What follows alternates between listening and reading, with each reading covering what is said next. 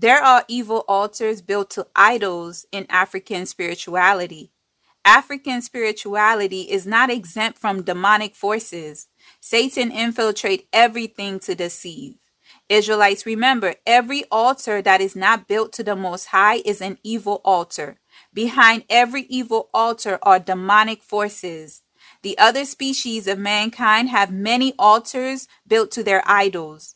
Many of us have seen their altars in their establishments, as well as in their rituals they do in plain sight that many people mistake for entertainment. The serpent seed know everything about altars in the unseen world. That is how they can rule over you. They fight you in the spirit while you fight in the flesh. The scripture said, We do not wrestle with flesh and blood, but against powers, against principalities, and against the rulers of darkness in this world.